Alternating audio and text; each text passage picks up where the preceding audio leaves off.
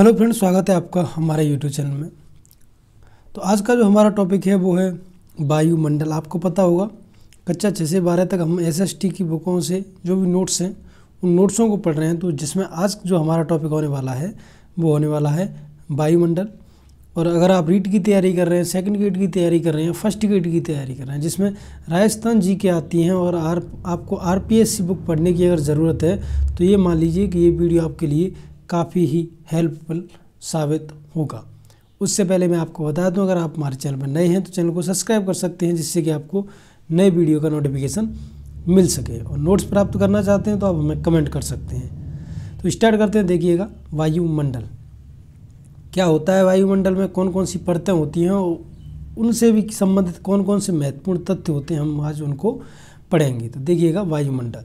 तो वायुमंडल में सर्वाधिक पाई जाने वाली गैस होती है, वो नाइट्रोजन होती है, वो ऑक्सीजन होती है, जो समस्त गैसों का लगभग 99 परसेंट होती है। आपको ये चीज़ पता होगा। तो नाइट्रोजन की बात करें तो अठहत्तर पॉइंट ज़ीरो आठ परसेंट होती है। वहीं पर ऑक्सीजन होती है, वो बीस पॉइंट पंचानवे परसेंट होती है। तीसरे नंबर पर आर्गन आती है, जो कि ज़ीरो पॉइंट तिरानवे परसेंट होती है। कार्बन डाइऑक्साइड आती है, चौथे नंबर पर जो ज़ीरो पॉइंट ज़ीरो तीन परसेंट होती है। वो अन्य गैस होती हैं, वो ज़ीरो पॉइंट ज़ीरो एक परसेंट होती हैं। तो याद रखिएगा, ये ऑर्गन पूछी जा चुकी है, कई बार पूछी जा चुकी है ये ऑर्गन। बहुत से लोग थर्ड नंबर पे इसको लगा के आ जाते हैं कार्बन डाइऑक्साइड को, जो कि गलत है। तो थर्ड नंबर पे आती है ऑर्गन, जो कि zero point nine three percent होती है। आगे चले अपन तो वायुमंडल के संपूर्ण जलवाष्प का लगभग नाइन्टी परसेंट भाग होता है ना, वो आठ किलोमीटर की ऊंचाई तक सीमित होता है। याद रखिएगा इस चीज़ को भी। अब देखिएगा वायुमंडल में जलवाष्प की औसत मात्रा होती है वो दो परसेंट होती है। अब देखते हैं हम ग्राफ को, देखिएगा। ये वायुमंडल की संरचना का ग्राफ है। इधर देखिएगा ये तापमान है, ठीक है? तापमान बढ़ता है और देखिएगा ये ऊंचाई दे रखी है मीलों में और ये ऊंचाई दे रखी है किलोमीटर में। देखिएगा सबसे पहले आपको पता है क्षोभ मंडल ही आता है तो क्षोभ मंडल को अगर अपन मान के चलें तो लगभग ये 11 किलोमीटर तक क्षोभमंडल रहता है। उसके बाद इसकी कुछ मोटाई रहती है। उसके बाद हमारा स्टार्ट होता है ओजोन मंडल। ठीक है, फिर उसकी मोटाई रहती है। उसके बाद हमारा समताप मंडल स्टार्ट होता है। देखिएगा। यहाँ मध्य मंडल, ठीक है? मध्य मंडल के बाद आयन मंडल और इस इस प्रकार ये सभी मंडल चलते रहते हैं। तो अब इनसे संबंधित हम देखते हैं। वायुमंडल की संरचना तो देखिए, सबसे पहले हमारा क्षोभ मंडल क्षोभ मंडल से संबंधित जानकारी हम एकत्रित करेंगे तो देखिएगा। यह वायुमंडल की सबसे निचली परत है। इसमें वायुमंडल के कुल भार का पिचहत्तर परसेंट भाग केंद्रित है। ऑक्सीजन का अधिकांश भाग इसी परत में है। औसत ऊंचाई है वो तेरह किलोमीटर है। इसकी ऊंचाई भूमध्य रेखा पर 18 किलोमीटर एवं ध्रुव पर 8 से दस किलोमीटर है। इस चीज़ को भी आप विशेष रूप से याद रखें।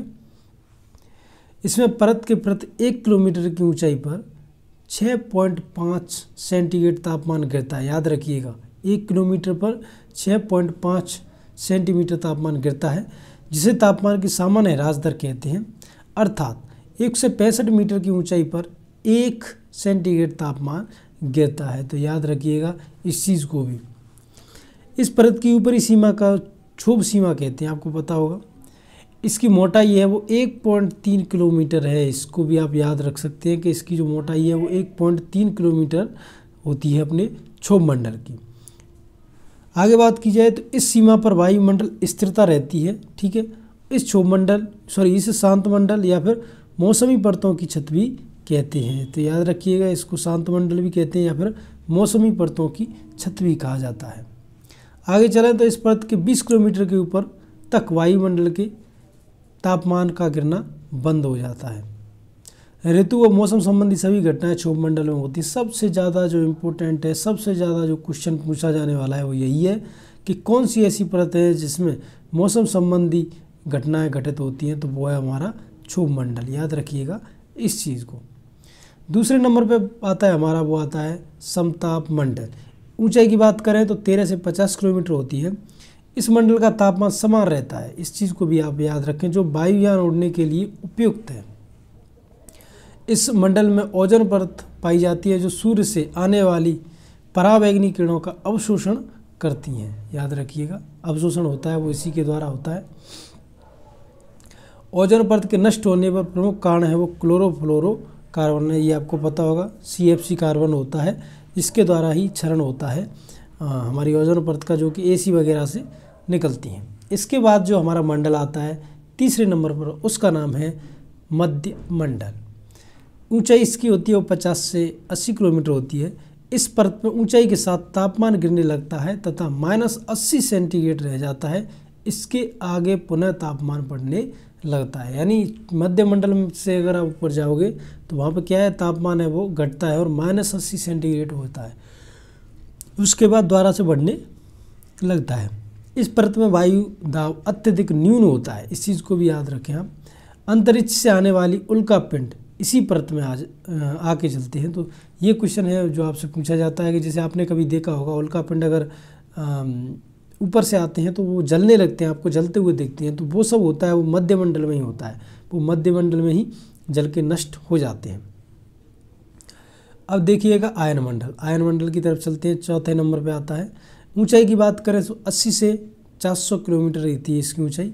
पृथ्वी से प्रसारित होने वाली रेडियो तरंगें इसी परत में परावर्तित होकर पुनः पृथ्वी पर लौटती हैं। याद रखिएगा, सबसे ज़्यादा इम्पोर्टेंट इसमें यही क्वेश्चन है कि जो रेडियो की तरंगें होती है ना, वो कौन से मंडल से परावर्तित होती हैं? तो वो होता है आयन मंडल।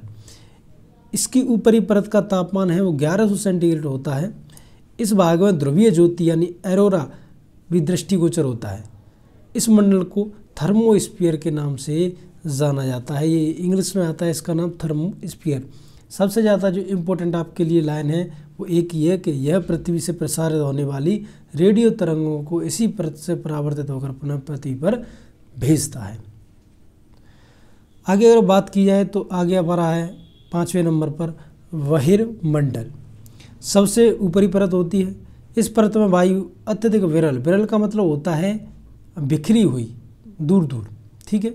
सघन होता है पास पास और बिरल का मतलब होता है दूर दूर यानी हुई मुख्य रूप से हाइड्रोजन और हीलियम गैस पाई जाती है।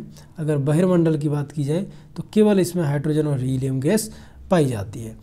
तो यहाँ पे जो हमारा टॉपिक था, वायुमंडल, वो पूरा होता है। अब हम देखेंगे नेक्स्ट वीडियो में नेक्स्ट किसी टॉपिक को।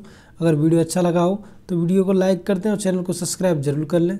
इस प्रकार के वीडियो के नोटिफिकेशन पाने के लिए और आपको पता होगा कि जो अपना रीट है, उसका सिलेबस आ चुका है तो उसमें राजस्थान जी के बहुत ज़्यादा है तो याद रखिएगा कि आपके लिए ये वीडियो बहुत ही ज़्यादा हेल्पफुल साबित होंगे।